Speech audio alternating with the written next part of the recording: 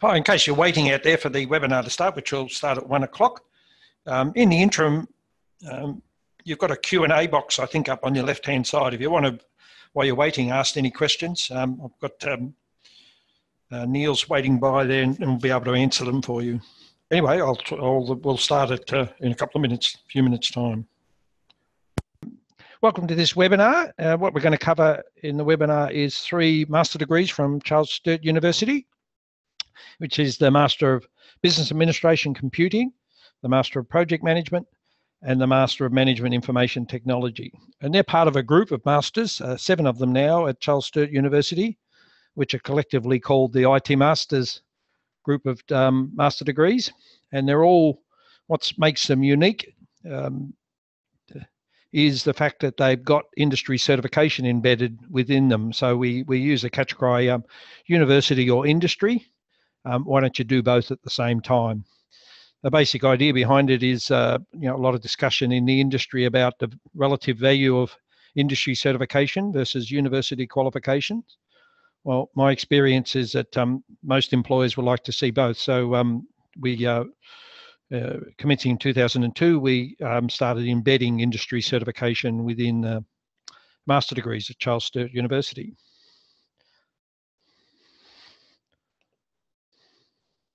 Just an introduction. Uh, my name's Martin Hale. Uh, I'm on the left there in the suit. I'm a CEO of IT Masters, and I'll talk about IT Masters, how we fit in, in a minute, but I'm also an adjunct senior lecturer at Charles Sturt University.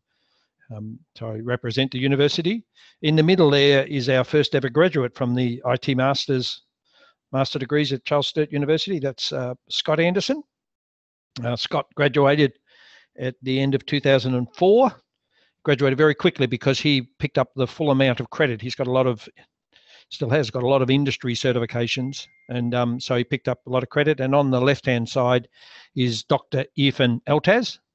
Um, he gets to wear that lovely hat because he is a doctor and he's a head of the School of Computing and Mathematics at Charles Sturt University. Charles Sturt University. Just the agenda. Um, we'll talk about the target audience for the three different masters.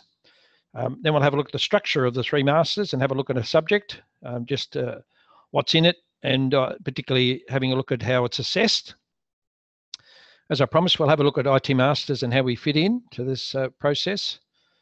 Um, and then we'll go on and have a look at some general information like fees and study load and um, why which you might consider studying at Charles Sturt University.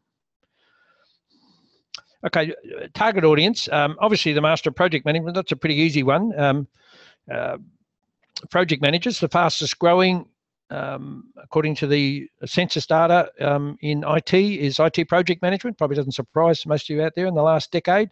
it has consistently been the fastest growing uh, employment category. And that's why you look around, you see more and more project managers appearing everywhere. Um, it is also amongst that and the Master of Information System Security, the most popular of all of our master's degrees. And um, I think uh, you'll see when you have a look at it, one of the reasons for that, it is so strongly built around the uh, most important project management certifications. And then we've got two management masters. Um, an MBA computing is uh, designed for people who who might be in a supervisory position and looking to move into executive management. Um, but also, it is a, a, generalist management course as well. Um, and then we've got the the third one, which is the Master Management Information Technology. This is more designed for technical people who, um, for one reason or other, want to go over to the dark side and move into management. Uh, they may have hit the top of uh, the pay bracket and see um, their career options to pay anyway. They need to move into management, or they may be pushed into management. Um, uh, see a lot of technical, good, very good technical people uh, with good people skills, and and really the company um, uh, very valuable to the company. Uh, someone that really understands IT in a management role. So you see a lot of that uh, type of thing. Um, as you'll see, what's different about that is you've also got uh, quite a bit of technical content in as well. So um, not only do you learn your management stuff, but you get to keep your technical skills up to date as well as you do it. Course structure, all three masters, all of the masters for that matter, are all the same. Um, they are a total of 12 subjects. Other unis call it modules. courses, a whole range of things, but we call it subjects at Charles Sturt University. And um, they are, uh, the structure of it is six university subjects and six industry certification based subjects. And again, this is a unique factor in these courses and, and one of the main reasons they've been so successful, as you'll see, um, is six of the subjects are, are built around you preparing, helping you prepare for certification. They actually do quite a bit more than that, as you'll see, but uh, um, that's one of their major objectives is to help you prepare for certification. Obviously, if you've got the certification, um, well, not obviously, but uh, if you've got the certification, um, we're not going to make you do it again. Um, you would get credit, and I'll cover how to do that. And um, as I mentioned with Scott Anderson at the beginning, um, you can have up to six subjects of credit out of the 12. That's a maximum that's allowable. We we have study sessions. We don't call them semesters because there's three of them per year. Um, instead of two sessions with a huge break, which is a normal university timetable.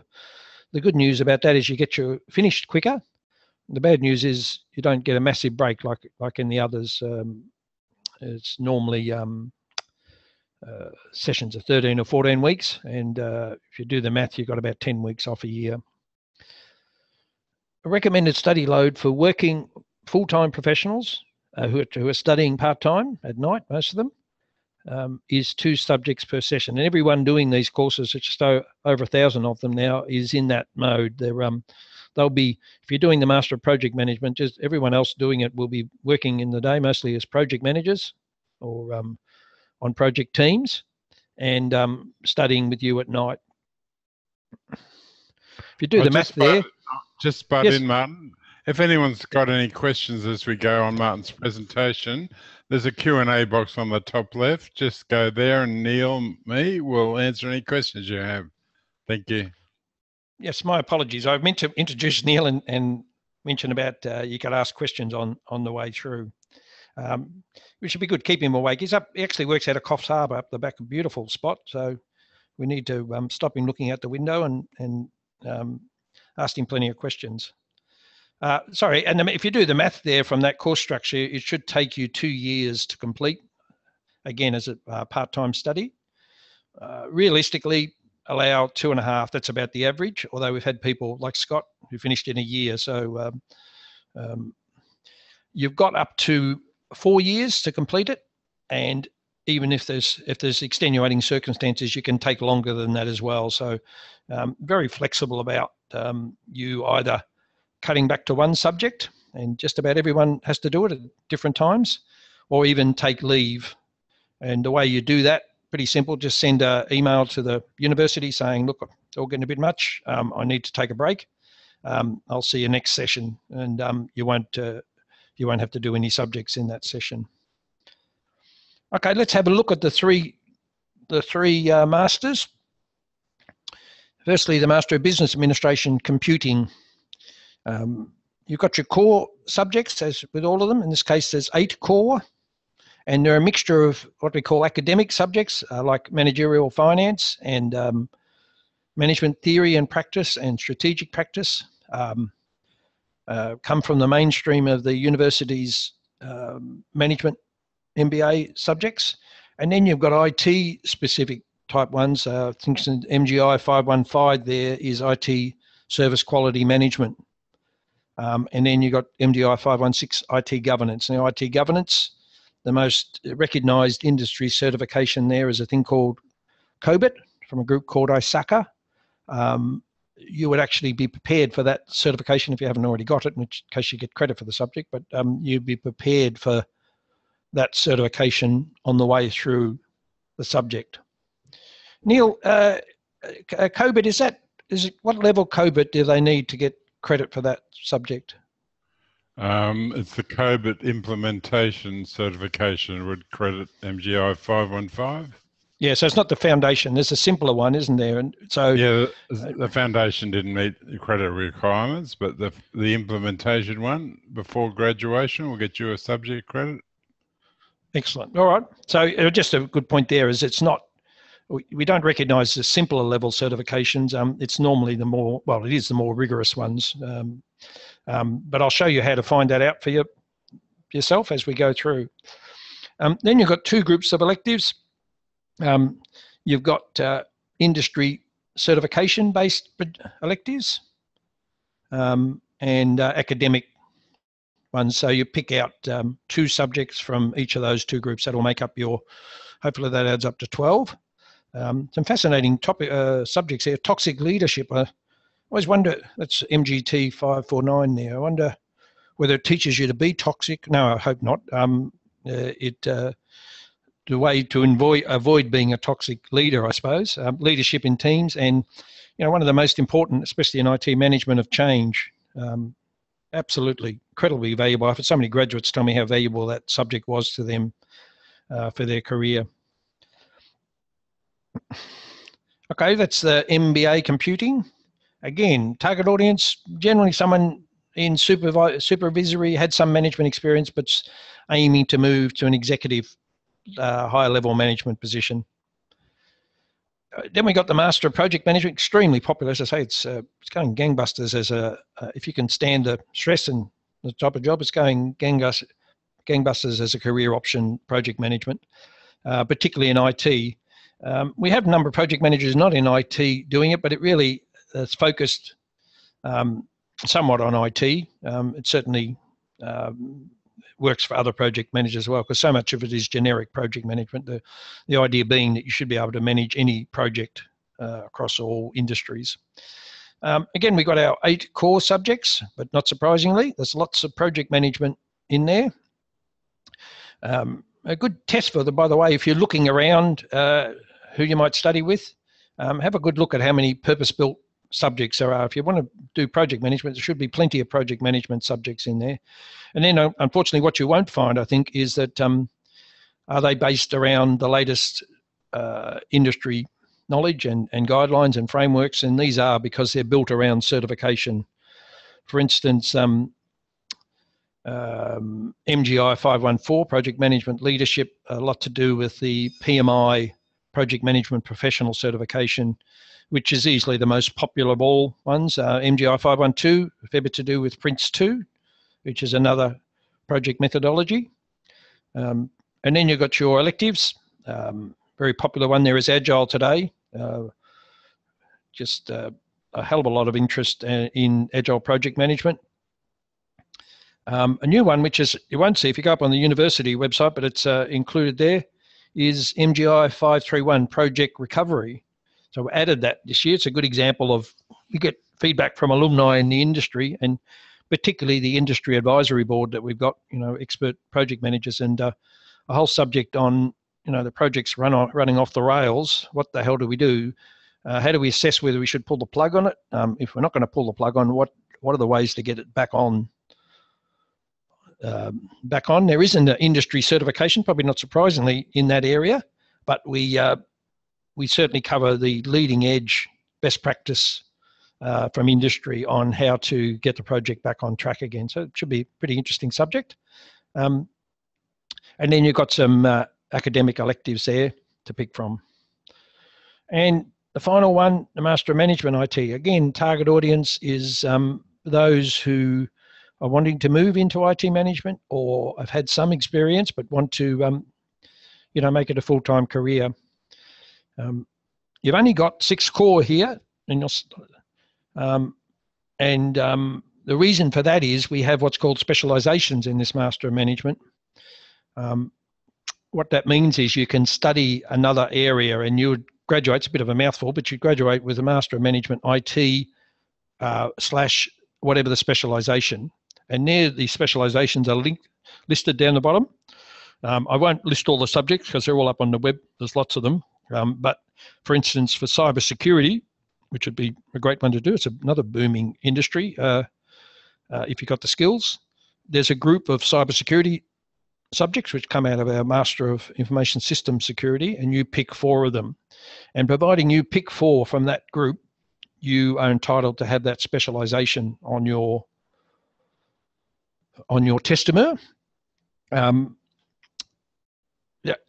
this isn't that's not available in the MBA. As you saw, the MBA is all about management and some project management. Uh, this is um, this is quite different as, and it allows you to keep your hands dirty, I suppose, in terms of technology. Uh, you maybe you're not quite sure maybe you're thinking you might want to drop back into IT technical role in the future, not uncommon. Um, so this uh, would allow you to do both on the way through. Um, very, very popular masters, uh, and it's a good mix of doing the two. Um, and then you've got to round out the 12 subjects, you've got some uh, uh academic uh, subjects to pick from. I mean, uh, don't get me wrong, these are fantastic subjects. They've got a wonderful group of academics, particularly management. Some, they've got some great management lecturers um, um, and, and IT as well at, at Charles Sturt. Um, but they are not based on certification, whereas the specialization subjects or the industry based subjects are based on certification um, and they're delivered by industry based uh, lecturers.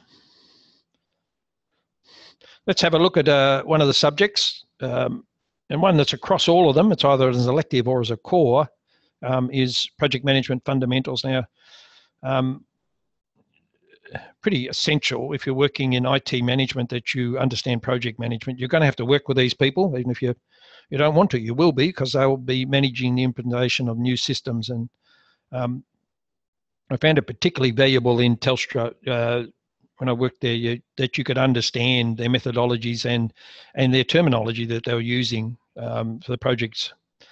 Um, this one is um, uh, the first one you would do normally uh, project management fundamentals. It prepares you for uh, two of the Project Management Institute certifications. There's a lower level one called the Certified Associate Project Manager, and then there's a higher level one, which, by the way, also requires that you've got some experience as a project manager before you're allowed to uh, get that certification. So if you haven't, you you could um, do the CAPM, which I mean, very good on your resume as well. If you're not going to be a dedicated project manager. So the learning objectives are listed there.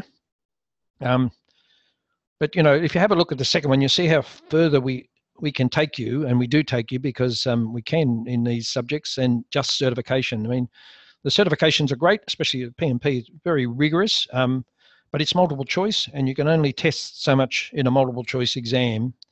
Um, as you see, we don't uh, we use multiple choice, but um, we go a lot further than that. And that allows us to do things like the second objective, be able to develop and critically analyze the components of a master project plan. Now, that's pretty difficult to measure in a multi-choice exam. So naturally, what we do is we um, we build an assessment around that. Um, at the same time, helping you prepare for your certification. How is it assessed? um, they're all different, all the subjects. So, but this is just an example. Um, fairly early in the session, there's an online test, multi-choice uh, exam. It's very like the Project Management Institute exam, not the same, but it's similar questions that you would get in your PMI certification. So this is um, you've covered the theory, and we do a what we call a fairly low stakes test, only 15%, um, to see how how you're going in preparing for certification if you want to go down. You don't have to do the certification, but uh, if you want to go down that path. And then later on, as I said, we can take you a lot further, and um, and we do. Um, uh, you do an article critique for, for, assignment, which is a critique of a case study, um, and you um, things like discuss the likely actions taken during the project management. Identify two of the project management institute processes according to the PMBOK, which is the project management core body of knowledge. And they've failed, and you, you have got to analyze them. Again, very hard to do in a multi choice certification exam. So, um, and then um, we have at the end an exam. Used to be all paper based, but lo and behold, um, we've gone, it's an option now to sit them as an e exam as well, which sit at home. Um, very similar to what people like Microsoft are doing, where people can sit their certification at home. So, uh, um, if you don't want to go and write on paper, um, as I say, you can do it from home on the computer. Um, I won't look at that one because that's not so applicable. Um, just uh, as I mentioned, I'll mention about IT Masters and who we are, what we do, um, and the partnership with Charles Sturt. Before 2002, you had industry certifications Probably the most famous of them is the CCNA, the Cisco Certified Network Associate, or another very famous one is the Project Management Institute, PMP. Um, they were quite separate from universities. Universities didn't have much to do with them. Um, and there was a lot of discussion, and still is a lot of discussion on the relative value of industry certification versus university qualification. You know, what's the most valuable thing to have on your resume? Well, the most valuable thing to have on your resume is experience. Um, but assuming you've got that, um, what's the next most? Well, depends who you talk to. Um, a lot of employers, like IT managers, would say um, certifications are important to them because um, it's hands-on skills and um, but then a lot of other people would say qualifications, particularly HR. My experience in a lot of large organisations is they shortlist based on qualifications, um, and then um, they they'll uh, have a good look at certifications after that. And a real shame you see some top applicants who just don't have a degree on their thing, so they never get to the stage where the IT manager is having a look at them. Um, seen it time and time again. So um, we had a good look at that and said, well, why don't you why don't you put um, put them both together? Um, and so what we did in 2002 with a lot of help from Microsoft to start off with and Cisco, um, we integrated the latest industry certifications within a university master degree. Took a lot of work, um, a lot of flexibility on the part of the uni uh, and looking at these certifications and how you might uh, put them in. Um, and we started off with a Master of Networking and we've gradually expanded uh, into management, as you saw, and, and things like project management. What does IT Masters do? Um, we've got three functions. We market, that's what I'm doing here, talking to you about. Hopefully, maybe some of them, some of you might enroll with us. Um, second part, which I love doing, is research and identify opportunities for further expansion. Um, a good example of that was that um, that uh, project recovery subject we got feedback from our alumni, particularly um, about the need for something like that in the course. Um, and uh, we then put the our industry advisory panel together and um, and built the subject based on their feedback and and best practice in the industry. Um, and um, we also support the students studying their industry certification subject. So use all the university I've got a fantastic range of systems for distance ed. Uh, CSU have been doing distance ed for 50 years, and it shows. It's a wonderful uh, learning management system and structure. But use all of that. But we, in for industry certification, we employ industry-based people to deliver the industry certification subject. So they'll be working during the day and um, talking to you about risk management to say, look, I've just put a risk management together for our company, and this is blah blah blah, and that's it, and this is how it relates to the certification and um, the content that you're think. So um, we actually manage those, identify them. Just about all alumni these days. Um, um why would you might you study at CSU if you're looking around? Um, we're going to make a couple of assumptions. You firstly decided you want to have a master's degree on your resume, and I'll show you some impacts on your earnings of having that. Uh, one of the best decisions you'd ever make, in, in theory, anyway. Um, you want to study by a distance. In other words, you're not, uh, you maybe travel a lot or whatever, or you're not, uh, don't want to have to go to classes each week. And you would like to current, uh, study the latest frameworks and platforms. And um, this is a particularly important one and really one that a lot of universities struggle with. Uh, you know, if you're studying project management, you need to do the latest project management core body of knowledge and frameworks. Um, uh, that's what the employers are looking for. Um, they want to see that you're up to date. Um, if you're studying any technology, um, um, yeah, it should be the latest. And um, we do that by aligning it with the latest industry certification, which forces it to keep up to date. As they update their core body of knowledge, we've got to update our content. And the second way we achieve that is by having industry based people delivering it. Uh, why would you do DE at Charles Sturt? Well, we dominate the field of distance education. We are the market leaders. And, and why might you do IT at Charles Sturt University? Well, we also dominate that field. Um, when we first started these in 2002, um, we were well back in the pack. We became market leaders in 2006 and now are starting to really dominate the market. Um, that's from a couple of years ago. With the, the gap has stretched even further in the latest figures. Um, and people are voting with their feet. They want they want this uh, the relevant industry based material presented by industry based people um, as part of their masters. So, um, as I said, it keeps us forces us to keep content and um, and and um, industry-based lecturers help us keep it up to date. Have a look at the study load. Um, how are you going to fit this in with your work and your social life? Well, um, how much study you're going to have to do obviously depends on your experience level.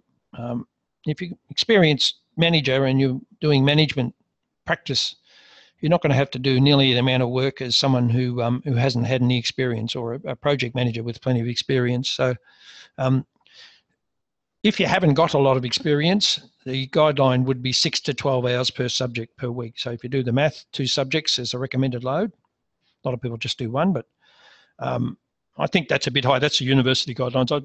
As a ballpark, for two subjects, and you've got limited amount of experience in both of them, maybe 15 hours a week, a couple of nights, a day during the weekend. Um, hard to start with, I can assure you, but once you get into the mode of it, it's amazing. Um, um, so many graduates come back and say, well, you know, you're talking to them at graduation, their partners with them. Um, their partners are all excited about them finishing. And the first thing the graduates say, well, what am I going to study next? I'm in the mode now.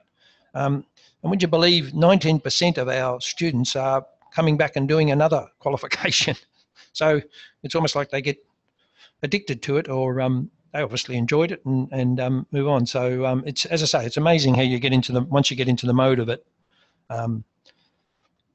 But you're going to struggle. Everyone does. Um, and it is definitely okay to drop back to one subject or take leave. You've got up to four years, uh, even without extenuating circumstances. So, um, and we're absolutely flexible on that. We're not uh, you just, uh, as I say, it's just an email. Say, look, I need to take leave. Um, uh, drop back. I probably a good idea to start with one subject to get into the mode of it. Um, but start with two if you want to, and you can always drop back to one. You've got um, you've got census, uh, which is four weeks into the session to pull out. Um, there's no cost. You just pull out and come back and study it later on. What's it cost? Thirty-one fifty per subject. Um, Twelve subjects, as I said. Uh, that's assuming you don't get any credit. It's due at the beginning of each study session. Uh, it should be tax deductible, providing it's um, uh, it's in line with your career, um, and includes everything. You don't have to buy anything else. Uh, in fact, we tell you not to buy anything else because you'll be busy enough. So uh, you'll get everything you need. And I mentioned census before. Um, every session this is, uh, you've got up to four weeks at all universities. You've got up to four weeks to pull out, and you'll be warned of it, saying, "Look, census is tomorrow. Uh, if you need to pull out of the subject, um, you need to tell us now." And um, um, in some cases, you, if you're going to study the subject again later on, you keep your textbooks um, and uh, study it, providing it hasn't changed down the track. Or if it's an elective, and you might decide, "I don't want to do that elective." Good example of me when I did my masters, and and I really hated finance with a vengeance, and fortunately it was an elective, um, so you pull out and um, study another elective subject. If it's core, you do need to do it though. If you're an Australian citizen, just about everyone uses fee help. Uh, why wouldn't you? It's a government study loan, um, covers all of your costs. Um, just a word of warning here in case you're, we've had uh, people say their accountants have told them they'd have to pay a 25% loan fee on their fee help. That is not applicable. This is postgraduate full fee. It's not undergraduate. Um, so it does definitely does not apply. Um, and your repayments, I think that's gone up a bit, but your repayments uh, begin when you're on about 50k. Admission, well, the normal requirement for a to get into a master's degree is a bachelor's degree. Would you believe just over half our students don't have a bachelor's degree? Um, the typical scenario is they did a year or two of their bachelor in IT and decided uh, for one reason or another to, to actually go off into the industry and, and uh, start building their career. Um, and now they're coming back. So um, those people, providing they've got three years of industry experience, you come in via what's called a graduate certificate pathway. Uh, a graduate certificate is the first third of the masters. Um, um, here it is here um, and it's four subjects out of the 12. Um, I call it, and also if you're not sure about doing your master's, good way to put your toe in the water. So I'll just do a graduate certificate. Um, and then at the end of it, you can decide whether you want to continue on and do the rest of your masters. The really good news about it is it articulates into the masters with full credit. So um, you do the four subjects in, say, the graduate certificate in project management, for instance. Now, providing you go on and do the master in project management after that, you would get full credit for those four subjects. And you get two qualifications. There's no downside to it. Um, as I say, the only criteria is the subjects are in the, you can even do a different one. You could do the Master of Project Management and go on and do the MBA Computing, providing the four subjects you did in the graduate certificate are in the MBA Computing, you would get credit for them. So just something to watch out for if you're going to go down that pathway. And you could graduate in only eight months. Um, just a, a, career tip here, uh, which helped me enormously when I was in Telstra. Um, I talked to so many people over the years, and they say, "Oh, yeah, i will get there. I'm going to start soon. I'm going to start soon." Well, I went for my first executive role in Telstra, and I had um, masters in progress, in brackets after it, and I'd only done two subjects, and it worked beautifully. Um, they asked me about it at the interview and saying, "What are you studying and how's it going?" And um, uh, I think it gave them something to talk about instead of the boring interview questions. Um, and we discussed the qualification. And I made it quite clear to them at the time that I would be doing this and continue to do this in my own time. Um, but it was very applicable to the job I was going for. And I could show that with some of the stuff I'd already studied.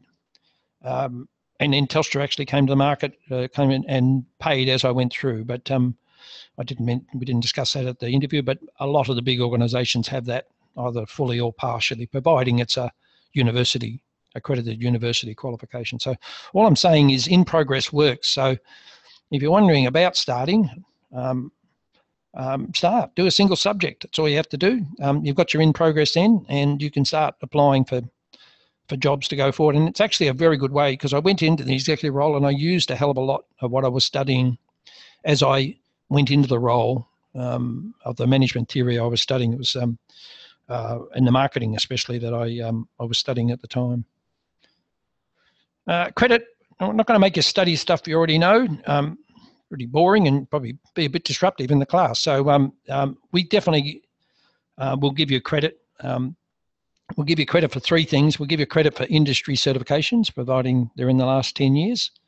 Um, they, uh, for instance, if you've done your PMP certification, um, you wouldn't have to do the subject we had a look at because um, it covers all that stuff, and um, uh, we give you credit. Now, um, Neil, you're still there? You haven't nodded off, have you? I'm still awake, Martin. Good. And Neil's our credit guru because there's a lot of different industry certifications. He he promises me he's going to count them up one day, but it's going to be a very long job. Um, we assess them, and all the mainstream you'll you'll find we've done, and PMP and that that type of thing. Uh, COBIT from ISACA, for instance. Um, yes, that's not a problem. You just, um, I'll show you later on, you fill out a form and we'll confirm the level of credit um, that you'll be up for. Uh, Neil will come back to you about that. You can also get it for previous academic studies, but it's got to have been at postgraduate level. So you might have started or finished a qualification at Charles Sturt or another uni and it was close content. Well, um, we'll give you credit for that. And a new one that's just uh, started is IT Masters run about every six weeks. We run a short course normally covers what's in the first few weeks of a subject just to show people what it's like to study at Charles Sturt. Um, if you do three of those and pass them, uh, you would get up for a credit, an unspecified credit. What that means is one of the electives. You wouldn't have to do one of the elective subjects. Instead of doing three electives, you only have to do two. Um, you can claim credit at any time before you start, while you're studying, right up to graduation. So um, uh, you can do you know, you might have an industry certification that you particularly want. Um, uh, COBIT, you know, uh, the risk management one, for instance. Well, um, a good way to do it is to get get started, do a single subject, and study for your COBIT in parallel with it. Um, as I say, as long as you get the certification before graduation, you'll be up for credit for it. The maximum credit uh, is 50%. Again, Scott Anderson, I mentioned before, got uh, the full 50%. That's why he finished in, in only a year if you want to find out credit, um, Neil can help you with that. Go up on the IT Masters. He gets over a thousand of these a year, um, and just fill out the I am I eligible form. Take you five minutes. It will do two things. Firstly, confirm that you're going to get accepted into the masters if you want to, um, and it also will confirm any credit you've got. And you can put not just the stuff you've already got, but the stuff you're thinking of getting. If you're thinking of doing some certifications, put them in just to confirm.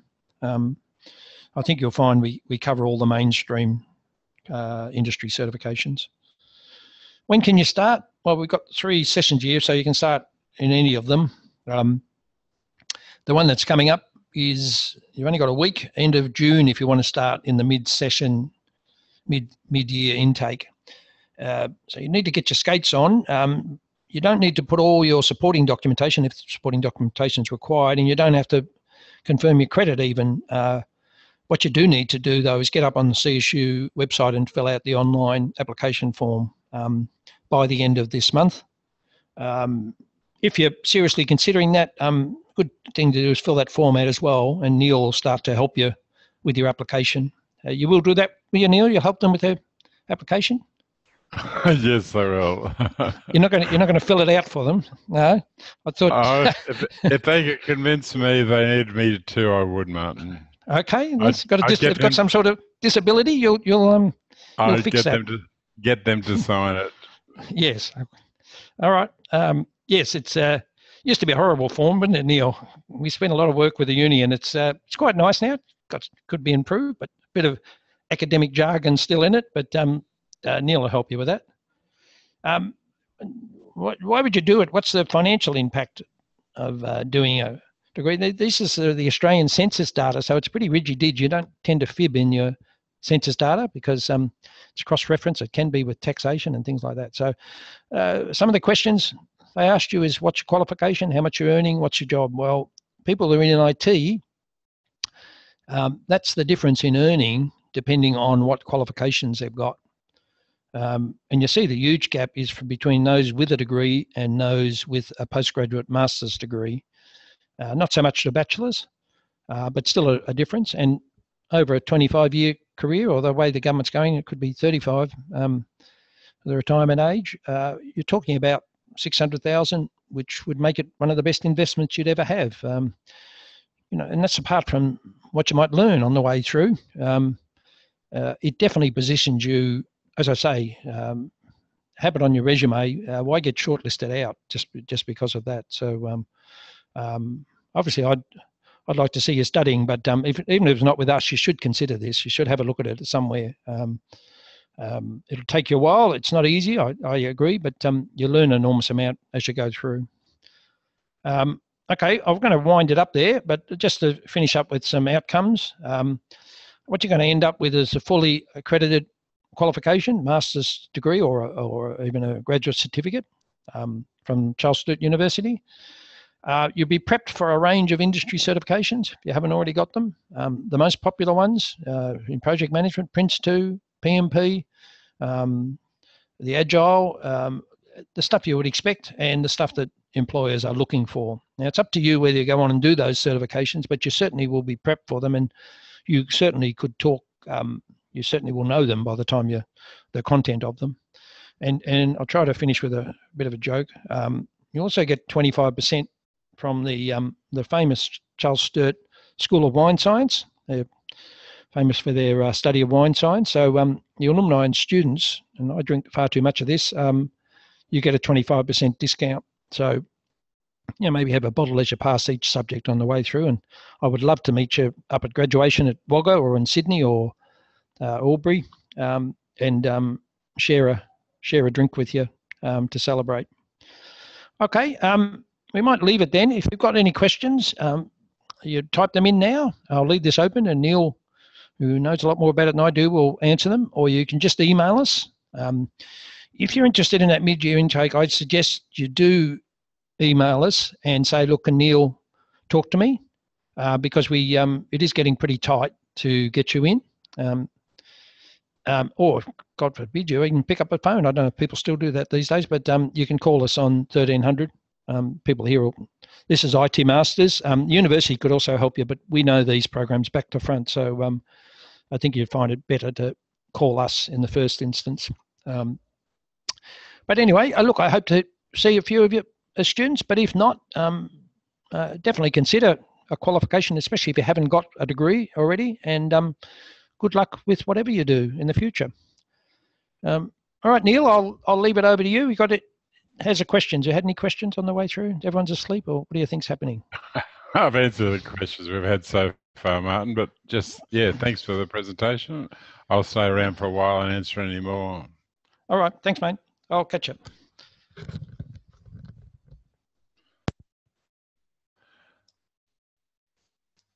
Okay. Um, yes, it looks like I've not going to be too many more questions, but I, that email address on my, on the page will get me directly. I can help you for now or in the future, or call us and or you can chat to me. They'll put you through to me. So unless we have any more questions, okay, we can answer them offline if we if you do. Thanks for coming today. Yes, um, Murali, you can call me that number on the screen, which you can see. If you're in Australia, we'll get through to me and they'll put you through direct to me.